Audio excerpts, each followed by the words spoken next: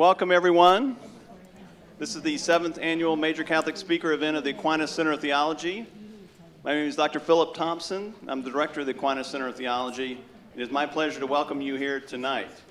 Uh, I have one simple question. I always like to have simple, an audience question, very brief to start off with. How many people have been to all seven major Catholic speaker events that we've hosted?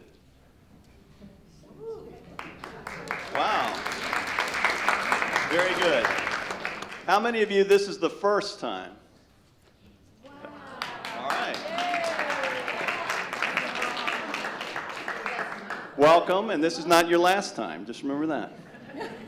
Uh, we have um, we have assessment cards uh, that at the end of the event we'll be asking you to fill out. You should have one of those, and hopefully somebody.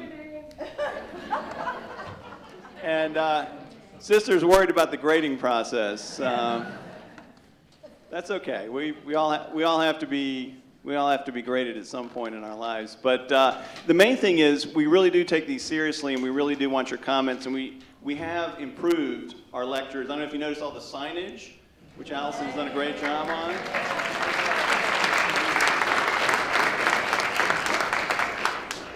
That's because y'all complained.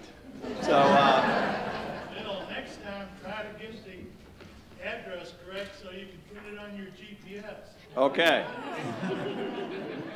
Uh, I'm not a ge geography professor. I'm a theologian, so my apologies. Um, it won't be the last mistake I make. I guarantee you that. But what is not a mistake is that you're going to have a very special evening here tonight, and I thank you for being here. And I'd like to ask Dr. Marie Marquardt if she would come up and introduce Sister Simone Campbell. Marie.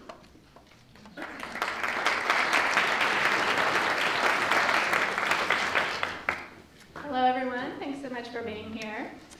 Um, it's just such an enormous honor and a real pleasure to be able to introduce you all to Sister Simone Campbell. These days, many of us associate Sister Simone with a very, very large, sort of rock band style bus, right? Um, as indeed we should. She's organized four highly impactful cross country bus tours, which have brought much needed attention to such important issues as fair wages, comprehensive immigration reform, and voter turnout.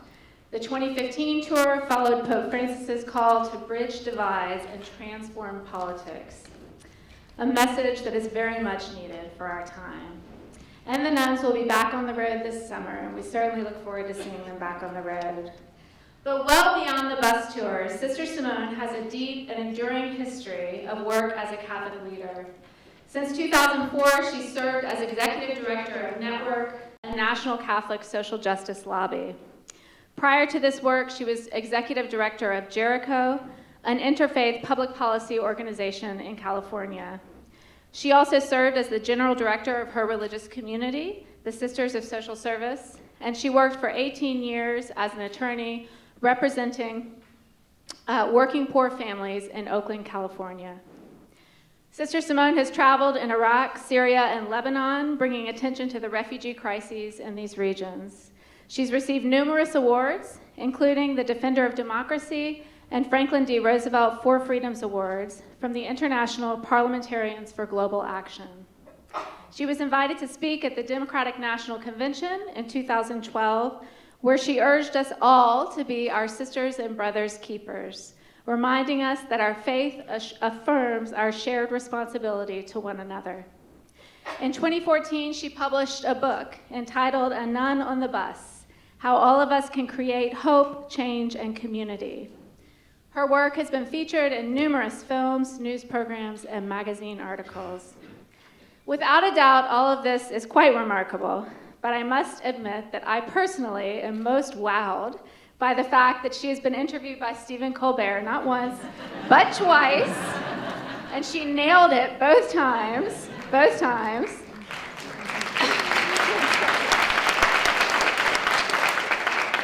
In one of those interviews, she described her community's work in this way We are faithful to the gospel. We work every day to live as Jesus did, in relationship with people at the margins of our society.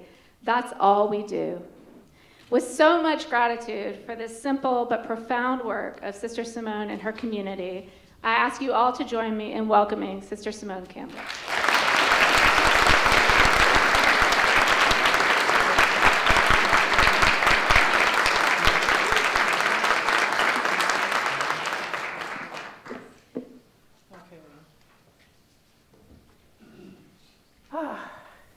Well, I did get nervous when I saw the scorecards there. So uh, that, that uh, made me realize I am at an institution of higher learning. And the measure will be, did you get some higher learning? We'll find out. We'll find out. So thank you for coming tonight. It's a deep honor to do this work, um, to be here, to be able to engage with you in one of the challenges of our time. I want to focus on how Pope Francis challenges all of us to bridge divides. He really says that we need to move from a politics, or excuse me, from an economy of exclusion to an economy of inclusion, but that politics has a responsibility for making sure that happens. Now, I don't know about you, but if you notice, politics is not exactly engaged in that occupation at this moment. And since you all just survived Super Tuesday, I admire your stamina being up on the evening after Super Tuesday. But what I want to hope we can do tonight is to do what Pope Francis says in paragraph 19 of Laudato Si, where he describes his goal his goal in the encyclical, he says, is not to amass information or to satisfy curiosity, but rather to become painfully aware, to dare to turn what is happening to the world into our own personal suffering, and thus to discover what each of us can do about it. This intersection of faith and action has that challenging reality of putting before us a mirror where we each need to see and ask the question are we doing our part? Faith is not a Sunday event. I've begun to hear a little few stories. I heard a bit about the, the cathedral parish and the wonderful cathedral that you have here I heard about Our Lady of Lourdes, was that? Yeah. The Lady of Lourdes. I've heard about a few of the parishes where life flames up here. The big change in Catholic population over the last 20, 30 years. And I've heard a bit about some of the challenges that y'all face. And I've slipped into using y'all because I'm in Atlanta. so yay. I, I know, I, I, do that in the north now too. So um, it's just so expressive. But what I want to start with tonight is looking at the economic reality that our nation is facing. And I want to do it because we're in an institute of higher learning. I want to create a graph uh, because you know data is always really important.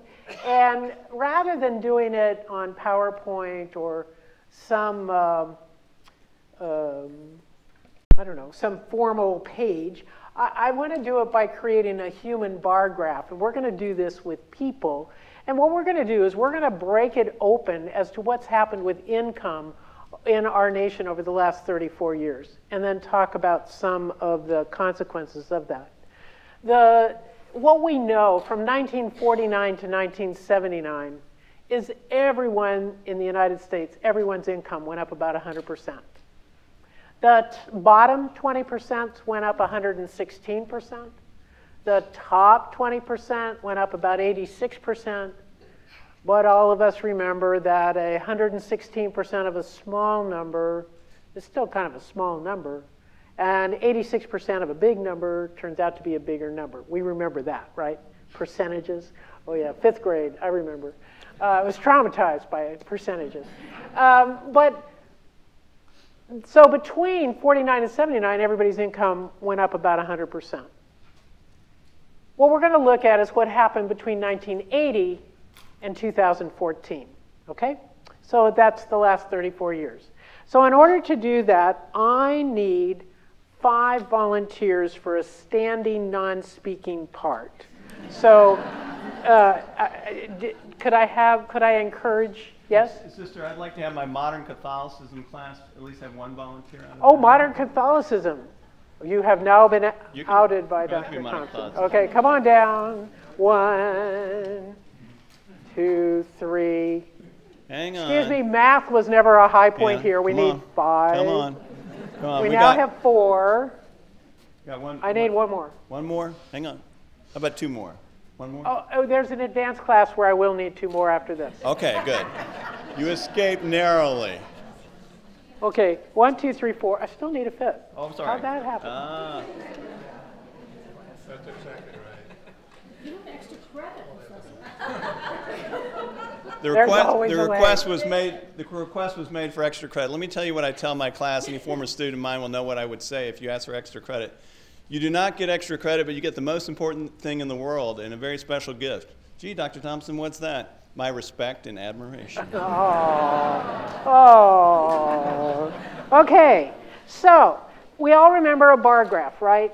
So you get your x-axis and then the y-axis. We're going to, it, we have a little mark down here of um, masking tape. This is our x-axis. So the various, these are quintiles, 20% of our population, okay? Got it? So when it comes your turn to line up, you just come line up here, and then the y-axis will go up the stairway. Got it? Perfect. Okay, so your name? Hannah. Hannah. Why don't you be our top 20%, okay? And? Lee. Lee. Okay, Lee, you're going to be next to the top. And? Helen. Helen, you are the beloved middle class. Everyone believes they are middle class. this is why you always hear politicians talking about the middle class, because everyone, no matter what their income is, believe they are the middle class. I met a lawyer, uh, it's a few months ago now, a lawyer who told me he made over $200,000 a year and thought he was middle class. I wish he was middle class. Middle class for this purpose is described as between 40 and 60% of household income in the US, okay? 40 to 60%. 200,000 is not between 40 and 60%. Just so you don't know. Okay, so we've got Hannah, Lee, Helen, H's, I have to do this. Okay. Maureen, you're going to be next to the bottom, and Laura? Laura, you are going to be our beloved bottom, okay? Okay, Okay. so Hannah, why don't you come on down, line yourself up. Okay, you can bring your up. Oh, no, that's too far. You want to line yourself up at the bottom of the back in a quarter of an inch. The top 20% has a tendency to move ahead rather quickly, but Okay, now, remember I said that between 1949 and 1979, your income, Hannah, went up about 86%. Well, I am pleased to tell you that between 1980 and 2014, your income went up 61%. So you're going to take one step for every 5% change. I'll do the math so you don't have to worry about that, calculating.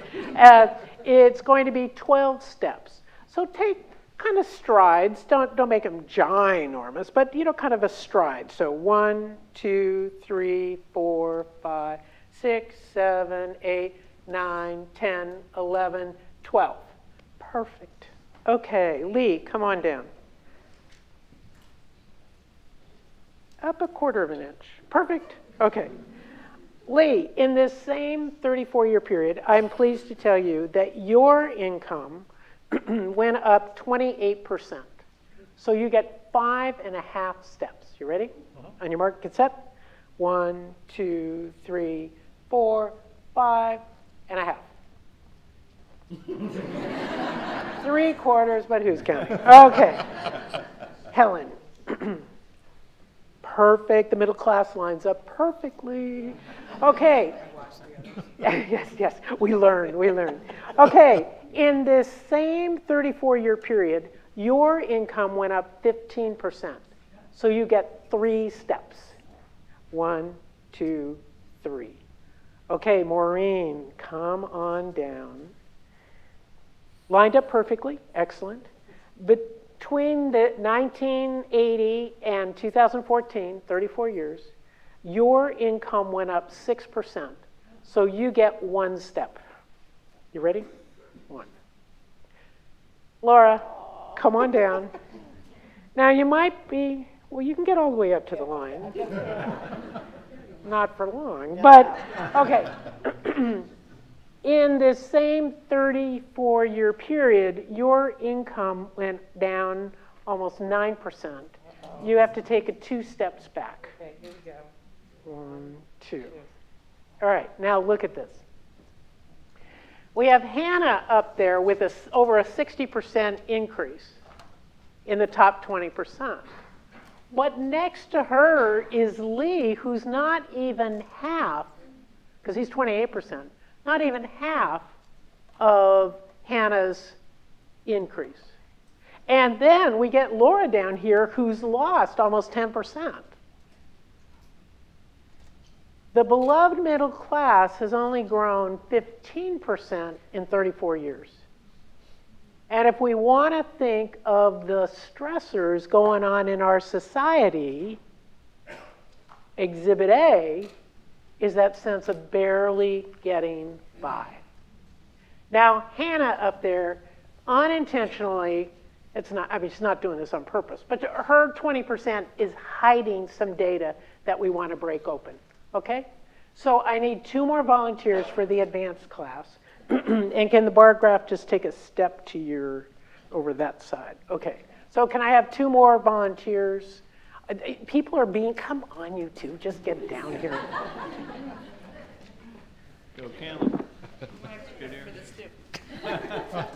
Okay, now, Byron, why don't you be the top 5%? Excellent. and Layla, right? Okay.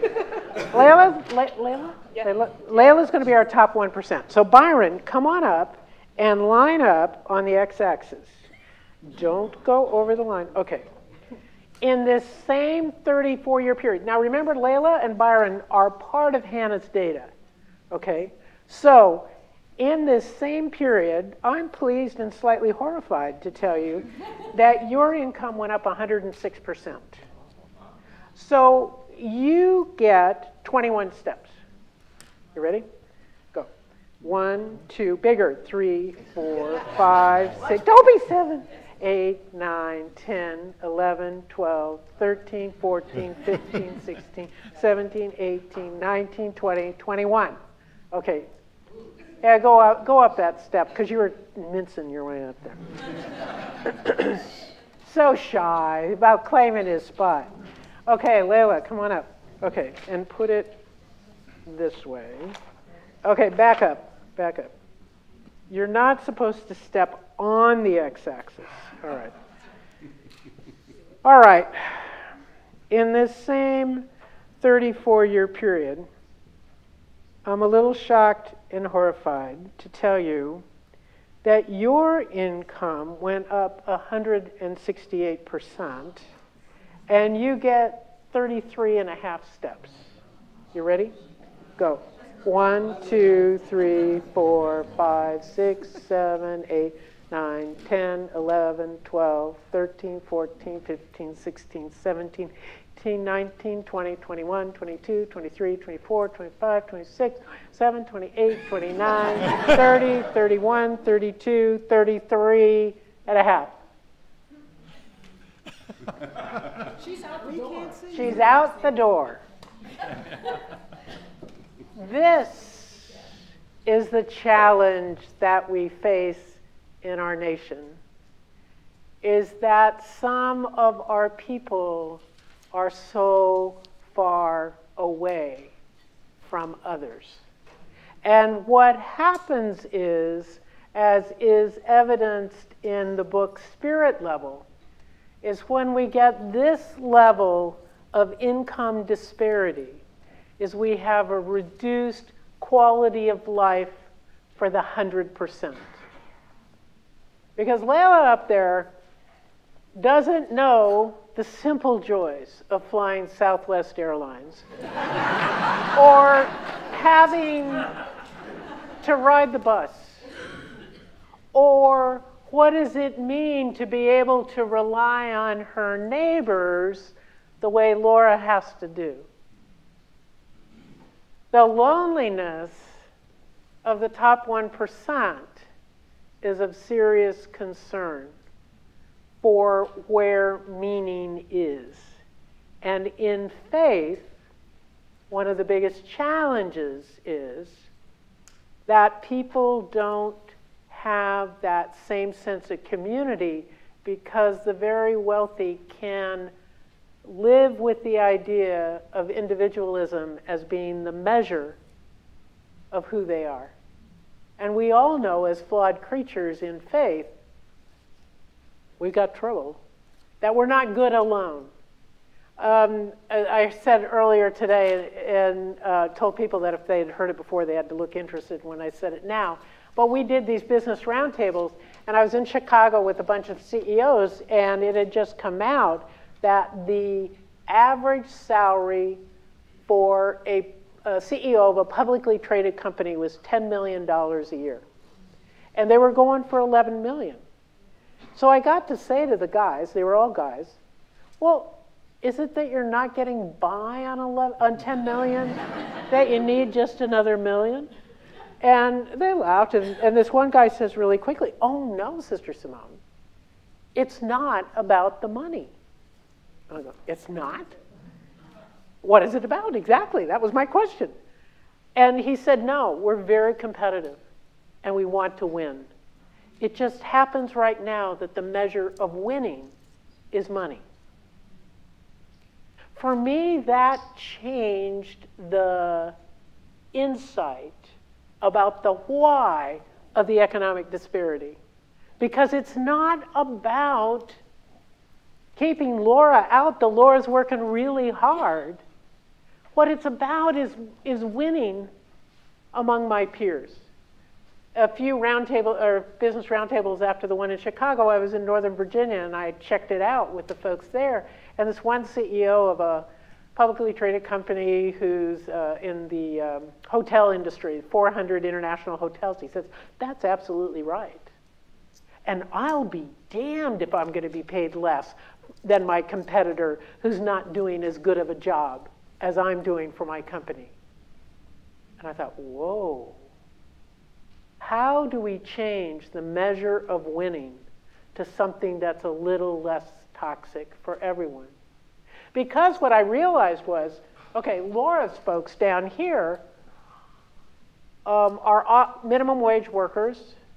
Robin, who I met, who um, actually, I met Robin at the White House. We were there for a signing ceremony with President Obama. And Robin never thought she was going to be in the White House. She was so excited. And the way I noticed her, she was sitting next to me, but she was jumping up and down like a little jumping bean. She could hardly stand herself. First, she takes a picture of the chair she's seated in. And then she asked me to take a picture of her in her chair. And then we got talking because she was wearing, unlike you and your lovely red, she was wearing sapphire blue. And Uh, so I commented on her dress, and she told me she'd gotten it at her store where she works full time, and she'd gotten it with her employee discount, and it was on sale. So she'd paid $20.43 for it. And she makes minimum wage. She had just gotten a 10 cent an hour increase, so she was going to make 7.35 an hour after a year at the store. And then she says to me, "You know, by looking at me, you would never know. I have to live in a homeless shelter." Because I can't afford rent in this area. It made me realize that our minimum wage workers are not being able to live in dignity with the wages that are being paid. Now, it's not that Layla up there is taking all the money, she's wanting to win. But we also have to find a way to share with those who are helping to create her wealth. Now, I met um, someone else, Jason, in Layla's category, and Jason told me he was getting upset that he realized his taxes were going to fund his competitors. I go, What? Your taxes are going to fund your competitors. How is that? Well, he lives in San Diego. He pays a living wage to all of his employees, in San Diego is a high priced place. And what he said was that he pays a living wage to everyone on his staff, but his competitors don't. And he came to realize that his competitors' employees, like Laura, go to use the social safety net. They use food stamps, Medicaid, sometimes housing vouchers, other subsidies to get by with their family because their minimum wage jobs are not sufficient to care for their families. And Jason realized while he paid a living wage, his competitors didn't, so his money, his tax money, was going to pay for Laura's benefits. Hmm. So it made me realize that the things, the programs that we've always thought of as for those who fall on hard times and are not getting by are often becoming business subsidies so people don't pay living wages. Then I realized that was making me nervous, but then I realized, uh oh, it's not just about Layla winning with her big money. And it's not about Laura using public benefits to survive. It's also about what kind of prices do we pay. And I, in my community, am known as Sister Mary Tightwad because I really like a bargain. And I realized I had to begin to ask the question is this a just price? Because we're in this together. It's very easy to complain against Layla because I hardly ever see Laylas of the world. But the fact is, I'm as much a part of it as anybody else. And I've realized that Layla is dependent on Laura to get her office cleaned. Laura is dependent on Layla to have a job, to have an office that needs cleaning. See how it's interdependent. We're in this together. But because we're so far away, we don't see each other. Does that make sense? One of the additional challenges is this gaggle of folks here. Let's face it, from going up a mere 28%, maybe, maybe you are closer to Hannah and you can, make it, you can make a go of it, I don't know. but certainly the 60% here when we're feeling stressed, what happens? We fight with each other because we're the ones we see. And the American Psychological Association did a study of who is most stressed. It wasn't Laura's group because Laura's, they're people, they know they're toast. I mean, there's no way they can survive on that. but Maureen's group is the most stressed because Maureen, whose, whose income has only gone up 6% in 34 years, and she knows too many of her people have slipped back. And so she fears that. The second most stressed crowd, interestingly, is Byron up there, the top 5%. But Byron's stressed for an entirely different reason.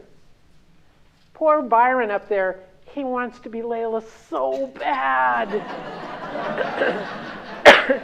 he wants to walk out that door. And so what happens is is a lot of their Byron and his friends' effort is to look good. So they often remember this is income to households. So often what happens is they carry more debt than anybody else. It's a big stress. We got into this problem by policies. Policies made this problem starting in 1980. And Pope Francis says in Joy of the Gospel, hold on a sec. He says, in this context, some people continue to defend trickle down theories, which assume that economic growth, encouraged by a free market, will inevitably succeed in bringing about greater justice and inclusiveness in this world. This opinion, which has never been confirmed by the facts, here are the facts. Uh, where'd it go? Expresses a crude and naive trust in the goodness of those wielding economic power and in the sacralized workings of the prevailing economic systems. Meanwhile, the excluded are still waiting. Uh oh, we've got some work to do. All right, let's thank our bar graph. Get them, get them back. Thank you. Thank you. Thank you, y'all are great. Thank you, Byron. Welcome back. Okay, Layla's, you got to know, Layla's is a lighter weight paper than anybody else. Because one time, one time I did this and the 1% walked off with the sign, so. Not that I had any hard feelings on the subject. But. So, we know there is a challenge. We know that policies that we have made have created this problem. And let me just give you five, quickly, five, four policies and one sociological phenomenon that created this disparity. Um, the first was tax policy. Uh, President Reagan's uh, policy was to reduce the top tax bracket from 80% down to 33%. As long as you were getting taxed at an 80% rate, not much incentive to get a big amount of money and then pay 80% to the government. So there wasn't an incentive for the multi-million dollar tax deals. The second was the privatization of retirement programs. I always thought this was sort of nutty, but the, the messaging that you know better how to invest your retirement plans than somebody who makes a profession out of doing it. So we're going to give you your money to invest. And in order to do that, to make that better for you, we're going to reduce the uh, taxes on capital gains, interest, and dividends. Well, that sounds like a really good idea. What do I know? Mm, okay, that sounds like a good idea. Well, what happens is, is that many of the Laylas and folks beyond Layla have structured their income so that's the only way they get income. So they're taxed only at a 15% rate which is higher than most of us who have earned income. Um, okay, so the, the privatization of retirement with this general preference for investment created part of the problem. Another part of the problem was remember uh, Reagan's uh, undermining of the air traffic controllers and unions in general. And I know I'm in Georgia, and saying the word union could have adverse repercussions, I'm told. But the fact is, unions, even if you weren't a member of a union, was uh, unions were the way that we kept wages up between 49 and 79. The undermining of unions has caused the undermining of wages for everyone. Now, yes, unions have problems sometimes. Oh, they were corrupt. They were called human. Now, nobody ever pointed out how corrupt corporations are, but you know, unions, oh my God, unions. I mean, some places you just feel like, you know, a lightning bolt has struck. But the fact is, it's human. And we're all called to keep people within the various um, responsible behavior. Okay, so unions. The fourth one is one that I hadn't thought of very much, but it was the loosening of credit so that we all end up with a credit card. Because when everybody ends up with a credit card, you have a way to deal with emergencies. That it becomes a huge problem over a long period of time, but that's one way. And then the final way that we sustained this really flat income for the majority of our people was by in households where there are two adults, is having both adults go to work. That way masked flat wages and, flat, uh, and the fact that households were not gaining. And if we did not have both households work, uh, both uh, adults in a household working, we would see it even worse for Laura. The CEO that I was talking about, I figured out, it, making $10 million, he makes, usually he, makes in three hours what Laura's at minimum wage would make in a whole year. There's something wrong. There's something wrong. So I don't think it's about Layla having too much at the top, but I think the problem that we've got is that we don't see each other and we don't have a sense of shared investment, a shared future. And so what we say at Network with Pope Francis is we have got to mend this gap. And you could think that it's only bad for Laura and, uh, wait who's next to Laura at the bottom? I forgot. Oh, Maureen. But it's not just for Laura and Maureen that we have to fix it. What the evidence shows is Layla, Byron, Hannah, all of us suffer on, uh, there's like 12 different scales measured by the UN where we do worse than anybody else because we've got this income and wealth disparity.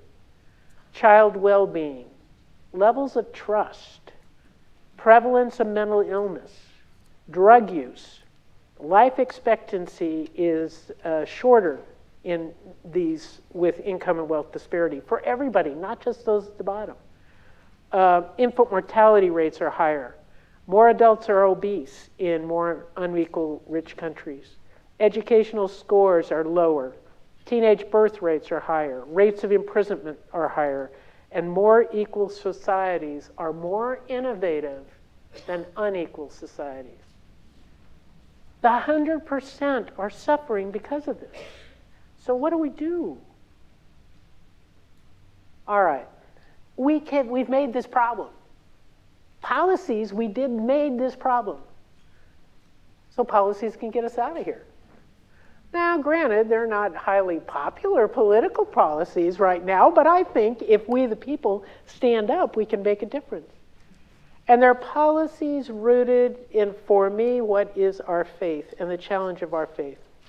Pope Francis challenges us to move beyond my individualism, to connect with those around. At, um, I got to be in Congress when he addressed Congress, and he spoke about our history with Abraham Lincoln lifting up our struggle to be one.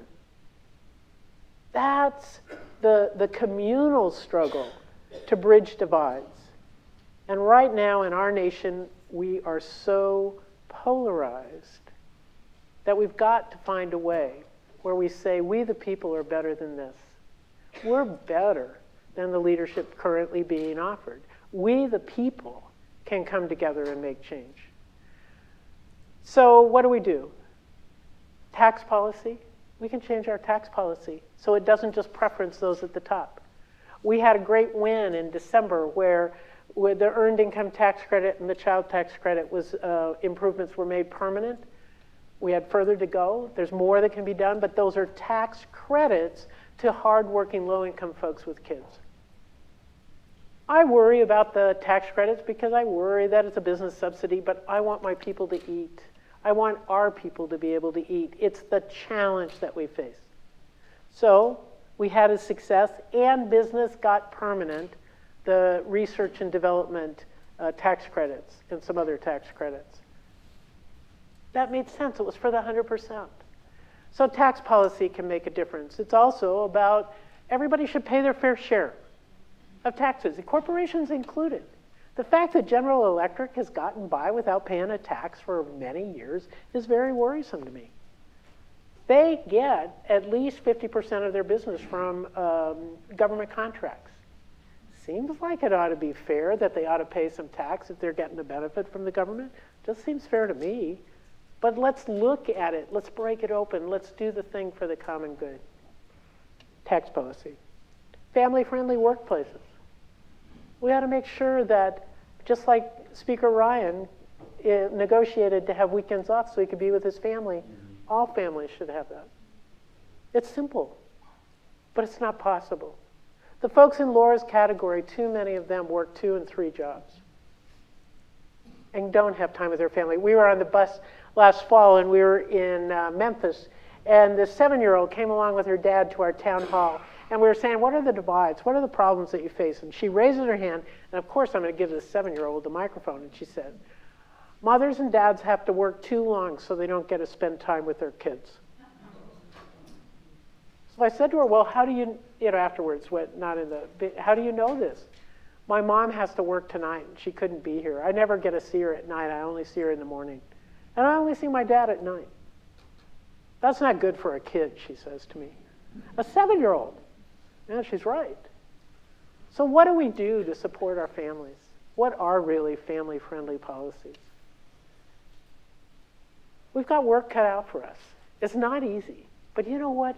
Pope Francis tells us that it's doable, that we can make the difference in faith. Because you know what faith is about? Faith's about knowing community. It's not the individual. It just it's me and God partially, but that's only one step. It's all about we're in this together. And when we're in it together, then we can make the difference. So he's busy challenging us to face up to this amazing effort to, to bridge the divides. He said, oh, wait a minute, wrong one, sorry. He says that, I have all my Pope Francis stuff, so. He says that, um, oops, it's my duty to build bridges and to help all men and women in any way possible to do the same. I think that is the challenge of living our faith in the world today. So, and to do this, I've got four virtues that I urge on you. Catholic sisters should talk about virtues. These four simple virtues can make the difference. The first virtue is to have a modicum or a little bit, somebody told me they didn't know modicum, a little bit of joy in the process. Because too often, when we see this bar graph, when we see the divisions, when we see politics, when we see the elections last night, we can all get grim. Did you ever notice that? Mm. We can be miserable. Yes, we try to be Catholics and active in our faith and engaged. It's very difficult. Please come join me. It's the most, I mean, it's the poorest advertisement for community I've ever seen. So, in the 21st century, we have got to have a bit of joy. And when I think Jesus' first miracle was at the wedding at Cana, I think Jesus was about joy. It was about bringing wine to the party when required. So, let us be about joy.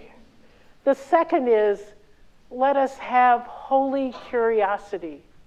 Let us have holy curiosity to have the hard conversations with folks who may not agree with us, with folks who we don't know their story. Let us ask them their story. Let us find out what matters. Let us hear what's going on. Because the only by asking did I ever hear about Robin who works for minimum wage or about the Laylas of the world and their struggle to win. It's not people are bad. We're all working in our own frames, so let's reach across and understand that. The third, after you've got holy curiosity and you found out the answer to something interesting, like I told some people that I found out our bus driver, Bill, driven four bus trips. Bill told me he's going to vote for the first time this year. Our man Bill, 74 years old, did a seven week bus trip on voting and he never voted. Oh. But this year he's going to vote. You know, want to know who I'm going to vote for, Sister Simone? He's from Tennessee, so he's very, very southern. And I said, Well, Bill, I'm a little nervous to find out. He's very conservative. and, and so he says, I'm voting for Donald Trump. Donald Trump. Oh, that's nice. and rather than, you know, writing him off or coming to my own conclusions, I said to him, Well, Bill, why is that? And what he said was, Well, the man's richer than God and can't be bought. Now, There may be some faulty analysis in that, but he had a good reason. And I got a window on another perspective that I wouldn't have known if I had jumped to my own judgments. So once you've gotten holy curiosity satisfied with a story, then we have the responsibility for sacred gossip. Sacred gossip is where you share that story with others. Because too often we don't know each other's stories, and it's not possible for us to get all over to everybody. So I advocate holy curiosity in grocery stores. Talk to people you don't know. Say to the person in front of you, behind you, oh, I'm really concerned about whatever. I'm really concerned about minimum wage. And that people are working full time, working hard, and they're not getting by. That worries me. What do you think? What I found out is people think about this stuff, but we never talk about it. We'll talk about, oh, the Falcons, or oh, the, you know, the rain, or the Brewers, or what, who are you? You're the, what's your boat? Braves, Braves, Braves, the oh, wrong ones. Okay, the Braves. Um, we, we, don't talk about it much anymore. oh, yeah, yeah. Oh, there's that. There's that. So just think of this as an alternative to sports talk. But, but the, the challenge is that we need to begin to have serious conversations as a people. We need to break this open. Because if we're only couch potatoes in democracy, we'll lose our democracy. So then it comes to the last virtue, which is do your part. Do your part. You can't do it all. Only in, in our rich nation would we, in our individualism, think we had to do it all. No, it's community. And if you do your part and I do my part, it'll all get done. And this is the part where I say, some of you have heard this, but I say I prayed about what my part was in the body of Christ, and it's stomach acid in the body of Christ. My job is to metabolize food, to liberate energy, to make a difference, but I need you to do your part. And you might feel like it's too much, it's impossible, it's overwhelming, but on those days, I want you to remember this story, this poem. Remember the stories of loaves and fish? Remember that one?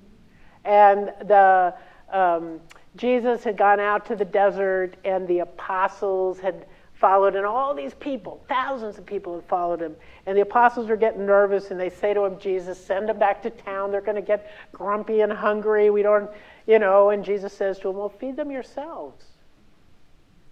We're, we are told over and over to feed Laura, to feed Maureen, to take care of it. We're responsible.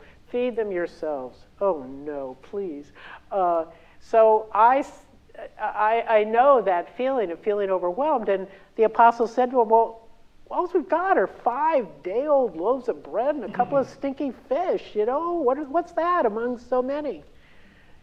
And then we know the story. Jesus, ever the community organizer, has people sit down in groups of 50. And then he, the story goes, he blesses it, and they break it, and they distribute it. And Matthew's gospel says 5,000 men were fed, to say nothing of the women and children. well, I said, Well, what are we? Chop liver? so I prayed about that too. And um, what I came to realize is the gospel author only counted the ones who thought it was a miracle.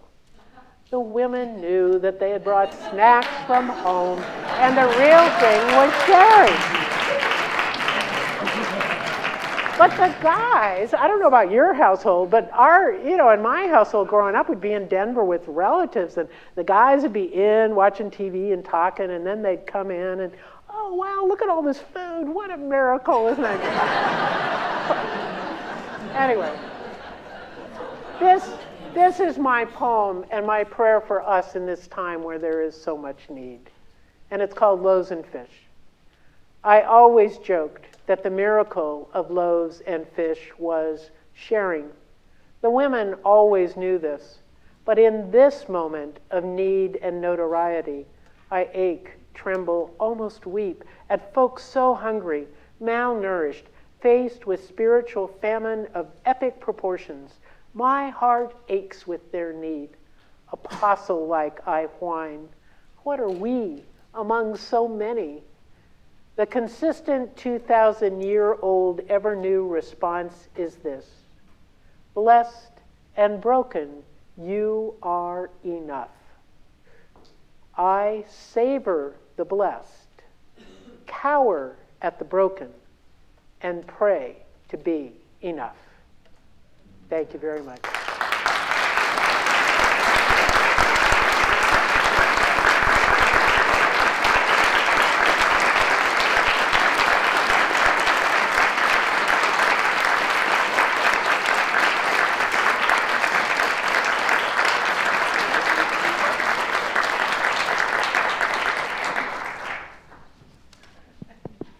I, I don't need this. I think. Um, we're going to take some questions. So if you have some questions, please come up to the microphones and ask your question of Sister. Just one request that you keep your question or comment short uh, so that others get a chance to ask their questions as well. And that's, that's it. So please come forward and uh, with your comments or questions uh, to the microphones. I believe we have a gentleman.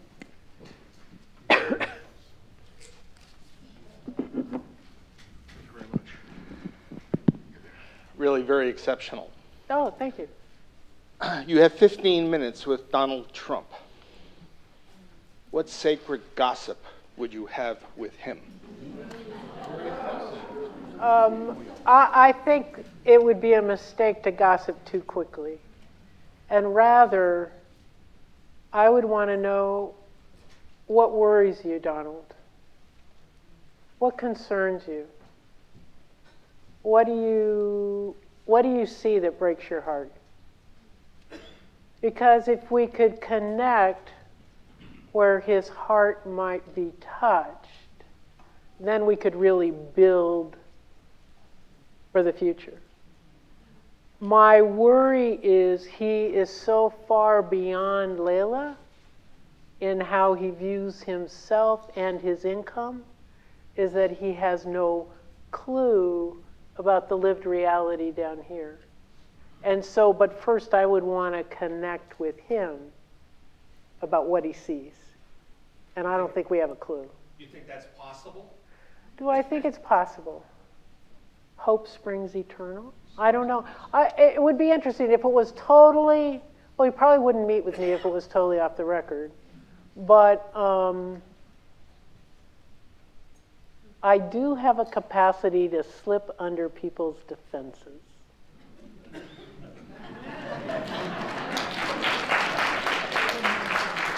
And sometimes, sometimes it works. My fear would be with him to get under his defenses is he would be so uncomfortable he'd flee. And a man who has to flee discomfort makes me concerned for him. I, I had this image, not of him, but I think it applies to him, of uh, somebody else in a similar position. You know those balloons in the Macy's parade? And they need people to hold them down on the ground.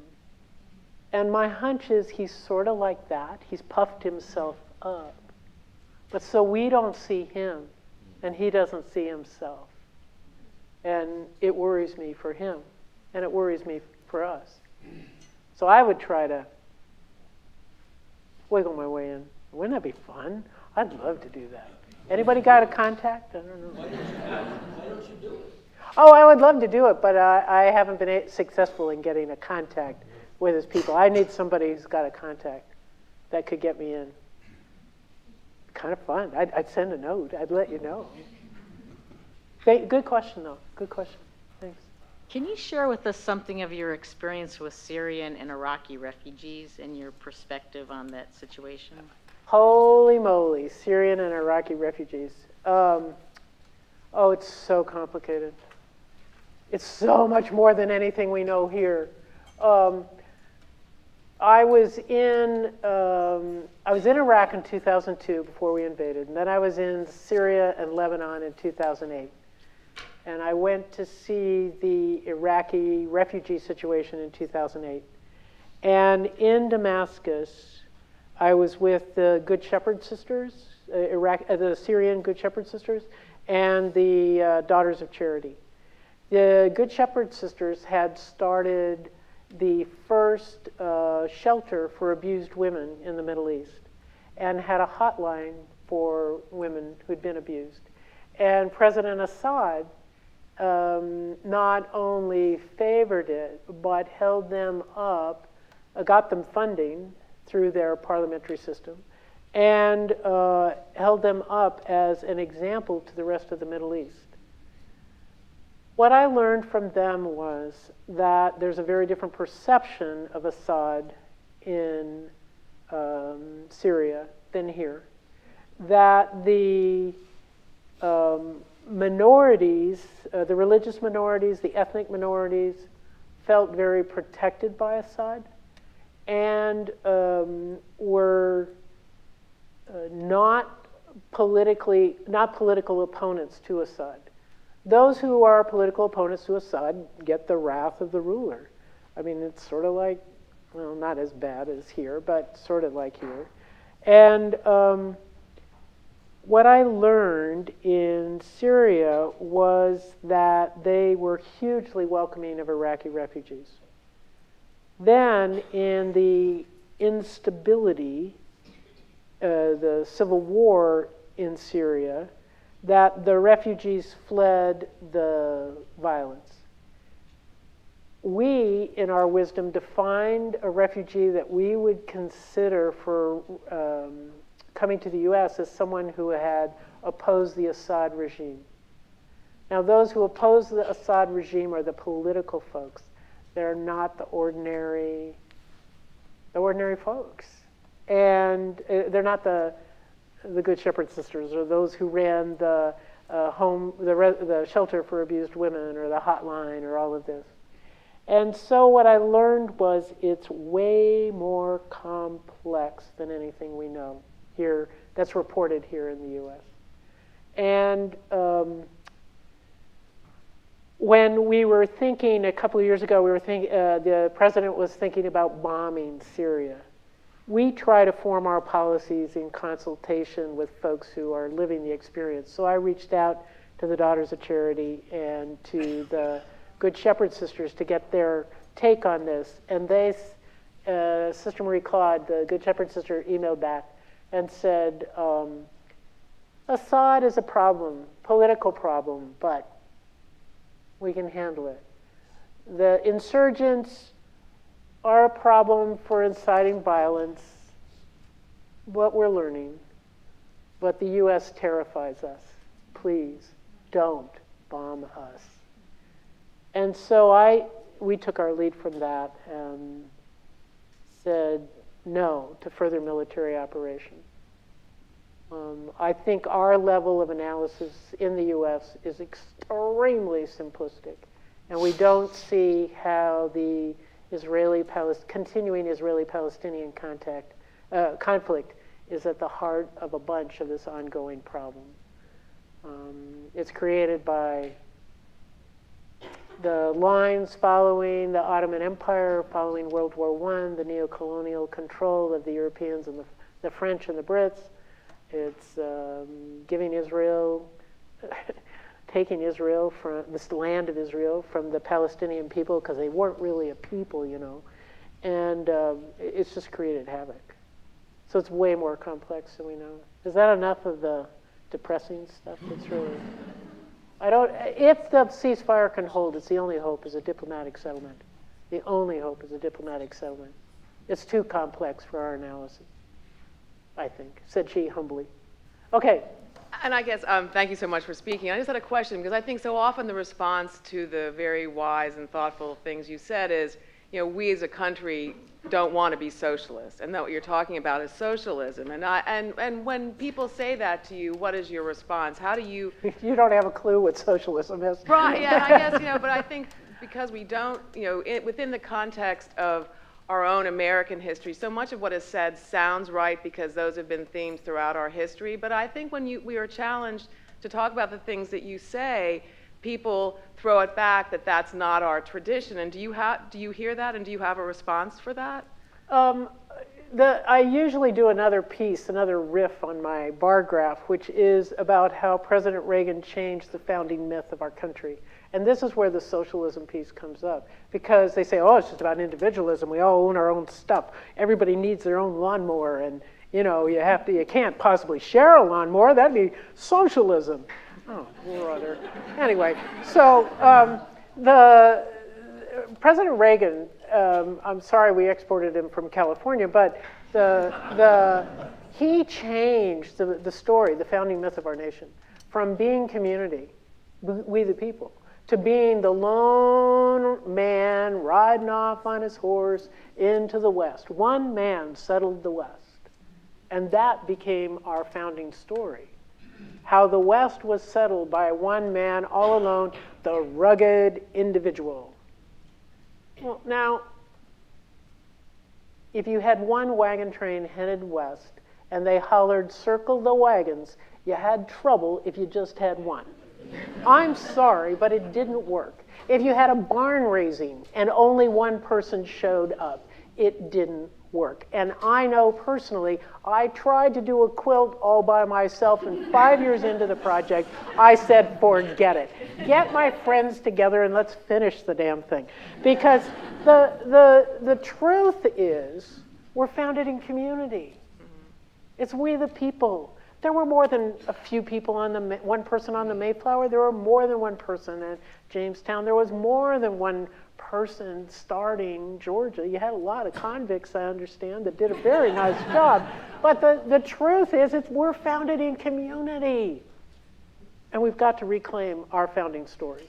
Thank you for asking that. Socialism is where you hold ownership in common. Mm-hmm. It's not about sharing, for God's sake. Sharing is called Christian. Not that I have any feelings on the subject, but anyway. Yeah.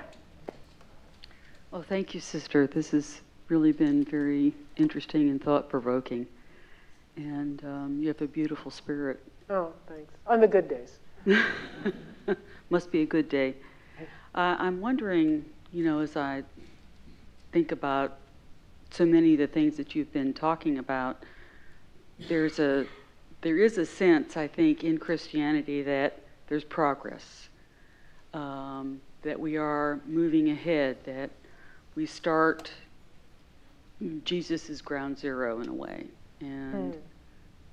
we start, of course, and, and of course there's background. I mean, there's always background to ground zero. But if Jesus is ground zero, then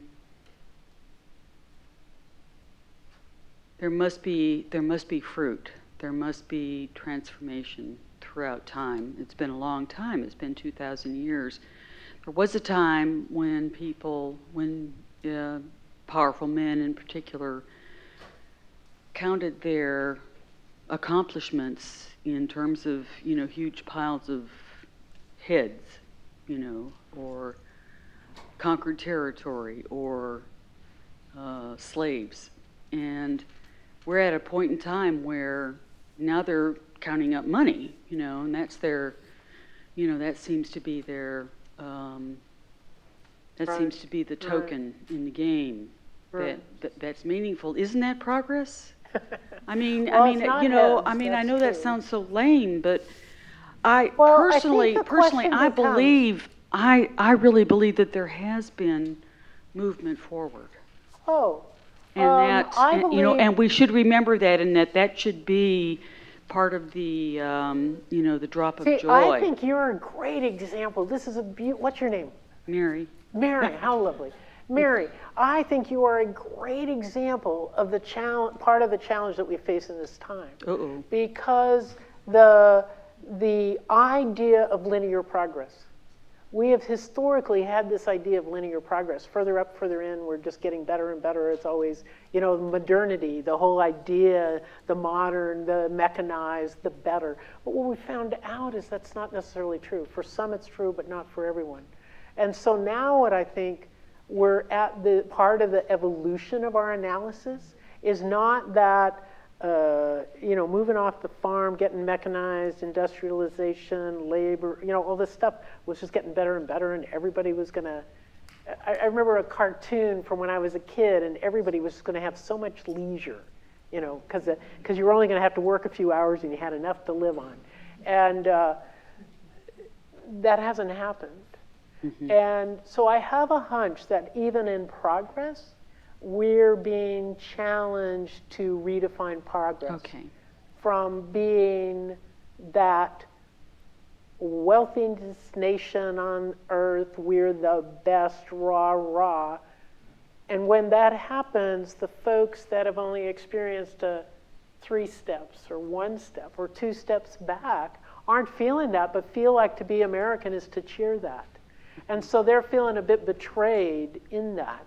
So my question becomes then, what's the alternative? And I think the alternative is to develop, for me, this is why faith matters, is that we develop a deeper sense of the whole. That rather than me being wealthy and alone, we're called to be community. We're called to recover the Constitution to be we the people.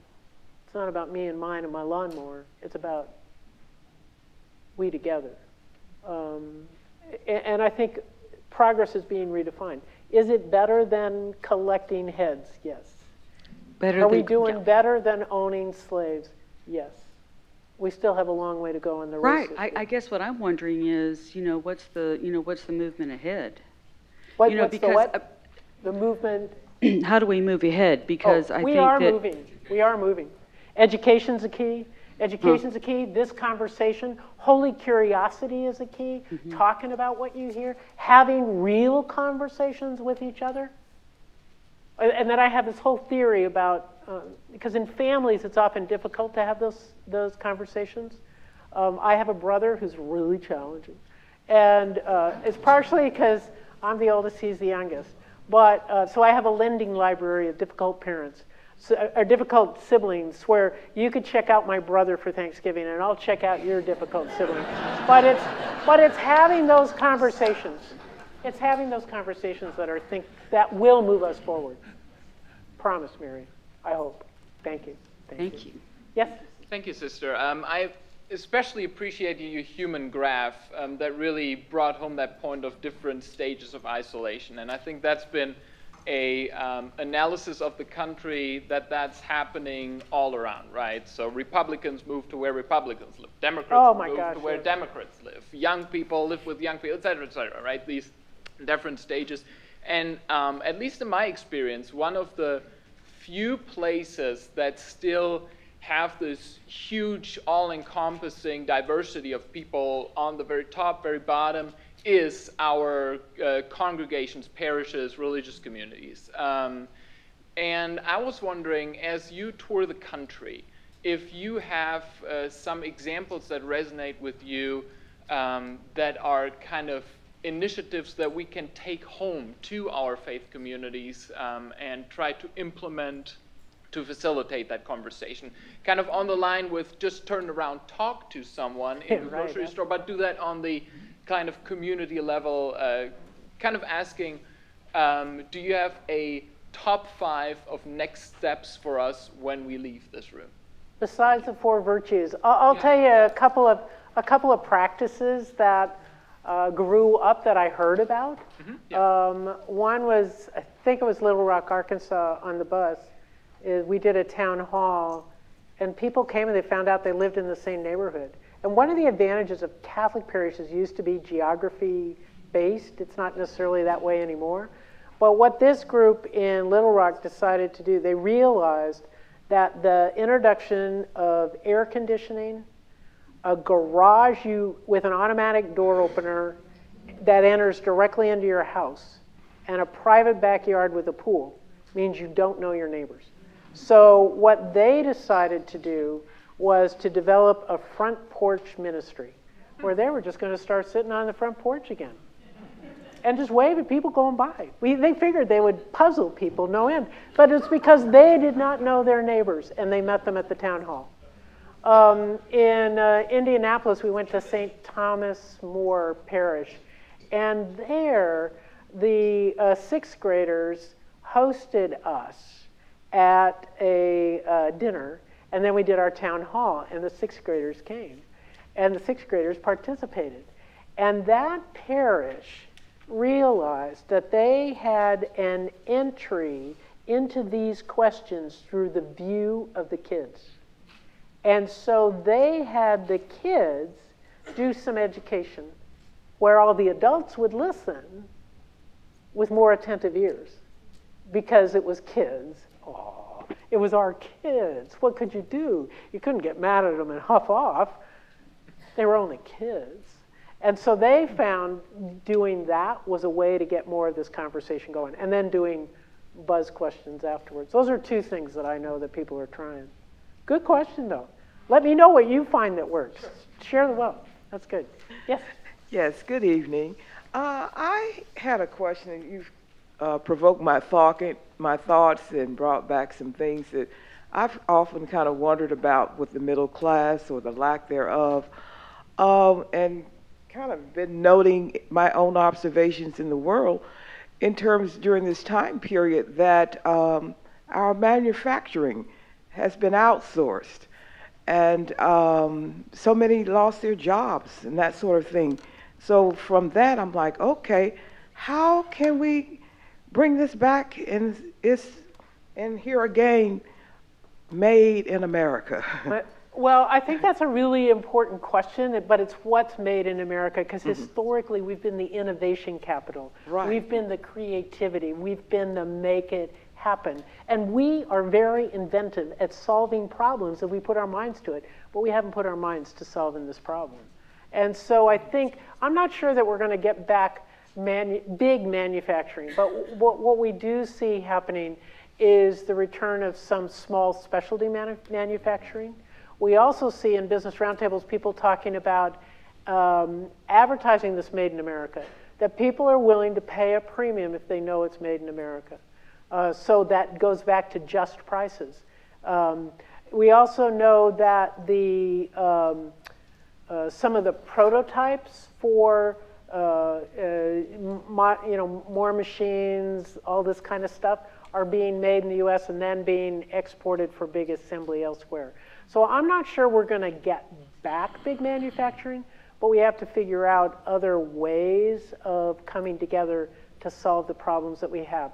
One of the big things that's happening, as you can see by the size of the Emory Medical Facility, is all of us baby boomers are getting old, and so healthcare is a boom industry. So how do you do that?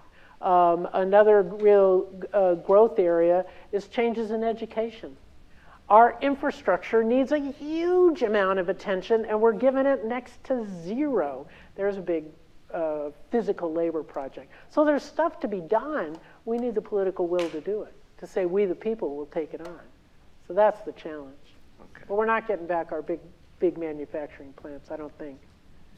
But we got to be vigilant about the good policies elsewhere. Otherwise, other people will suffer. Good question. Good question. Okay. Okay. We, why don't we get a? Okay, we've got a couple up there. I can't quite see. Okay, two more. Cool. Go? Yeah, go okay. for it. Um, I, I really appreciate your four virtues. It's very helpful to me. Um, I I look at what's happening in our country in in a number of different ways, things that are disturbing to me, and it seems to me that uh, a lot of what troubles me is coming from maybe reactionary mind of of people seeing in this way or that way that um, they we need to share power, we need to share opportunities, we need to share access, and uh, people maybe feel like there's a lack, and that to share those things are going to create uh, a worse situation for them, like a, an unwillingness to share with one another, power and access and, and things Uh. like that. And so my, my question is, um, I see in Atlanta, for example, um, uh, a lot of price inflation. We're not really charging, a- in many cases, a just price for things anymore. At least people in my age group, uh, when they are creating opportunities for themselves, are charging as much as they can because there are going to be people in Atlanta that can pay it. And so, um, oh, so they're marketing to a niche market who could afford but not elsewhere? Yeah. So um, the trouble that I see is really one of encounter where we don't know one another, we haven't shared the stories. how do you, since we're so disparate, and you said we, we don't see one another, and that's where the problem is, the, the holy curiosity and the holy gossip are, are very helpful, and that might be the best thing that we can do to try to help one another and ourselves to see. Um, but do you have anything else that you might say about that? About um, the fact that uh, there's so many problems being created by the fact that we, we don't know one another. We, we're not sharing. I, I feel like the, the things that we're encountering in our country right now are largely due to um, fear. Yep. So I how do we how I do we change that? Well, I, I- think we just get started. The problem is when you say, we've got this whole country, we have 380 million people, and I'm not going to know their story. That's when you, you know, who, what are we among so many? But the consistent 2,000 year old ever new response is this blessed and broken, we are enough. And for me, what that means is to know in faith that we are blessed, but broken, that I'm not sufficient by myself. I need you. And if we know our need for each other, then it's more than just the academic curiosity about, you know, what's going on. But if I don't know your story, I don't know you've got this idea that people ought to be sharing power and engaging and being a part of this. I didn't know that. And so now that I hear it, I need you to keep reminding me.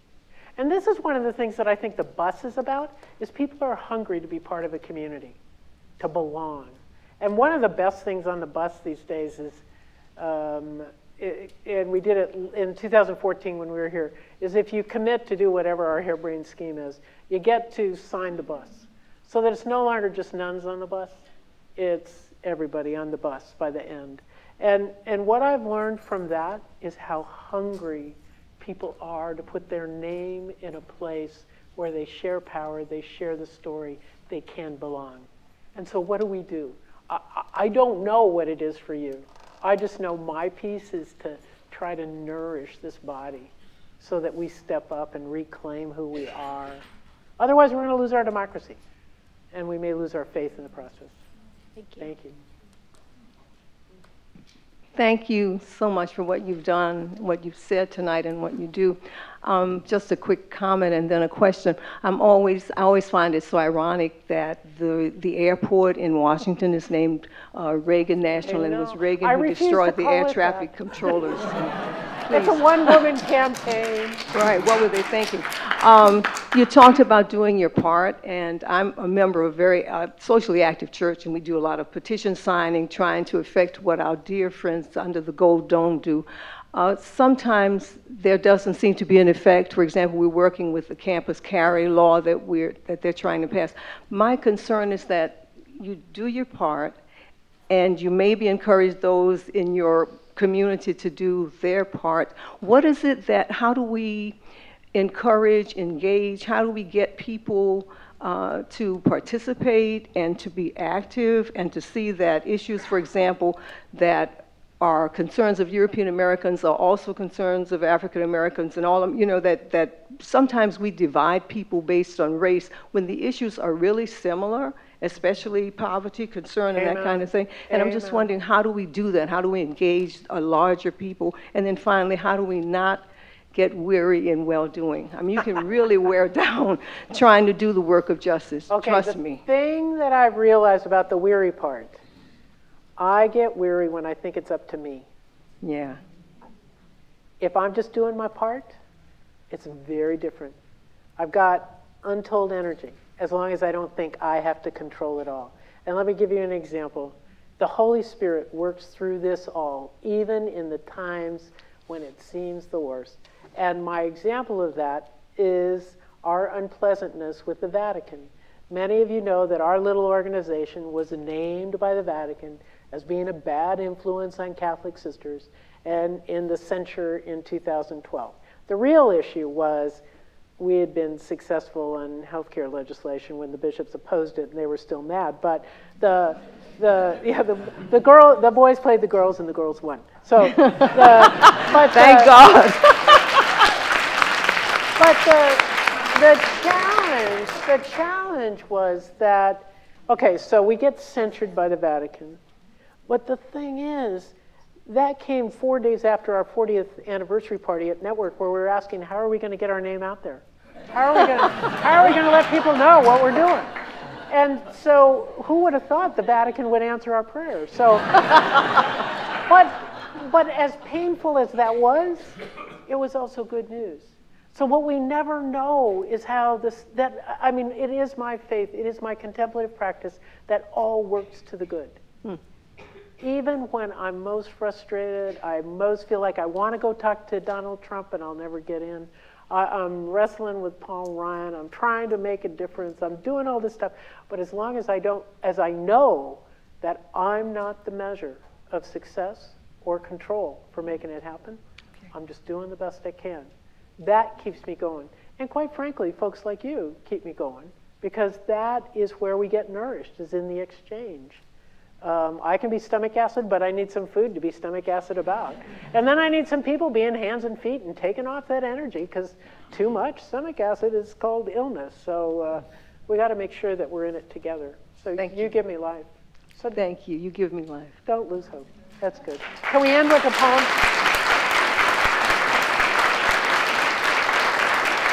The um, ending, ending uh, that last bit about the contemplative life, I thought I should just end with a poem, which is called Living Waters.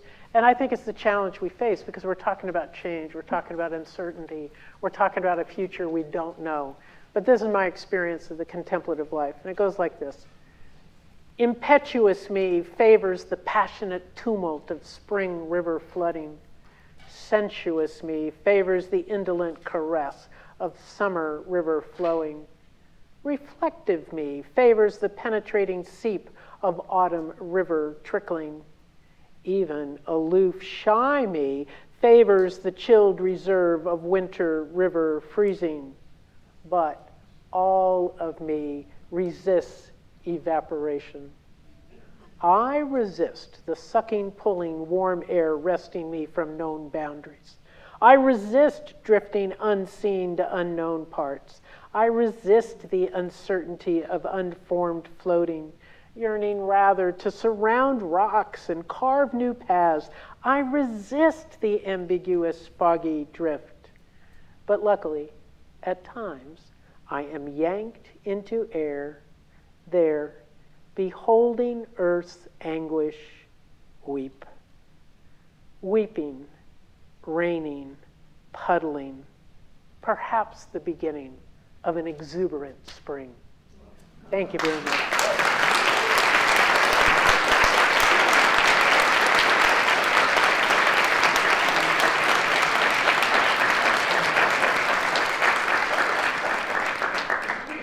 Okay, you have your assessment cards, if you would. Uh, give sister your grade, give us your grade, and thank you for tonight. One of the phrases we like to use is unexpected conversations for the common good, is what we try to provide. And I hope tonight was more unexpected conversations that provoked thought and provided insight. Uh, and that's what we try to do with all of our programs. So thank you so much for being here tonight. And um, sister, once again, thank you for being here.